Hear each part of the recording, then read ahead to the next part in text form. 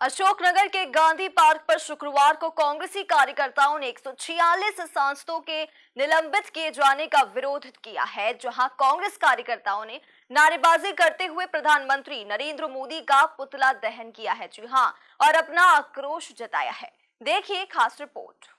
संसद में विपक्षी नेताओं के निलंबन के मामले में अब देश भर में कांग्रेसी कार्यकर्ताओं ने मैदान संभाल लिया है, जहाँ आज अशोकनगर में कांग्रेस कार्यकर्ताओं ने पीएम मोदी का पुतला दहन किया।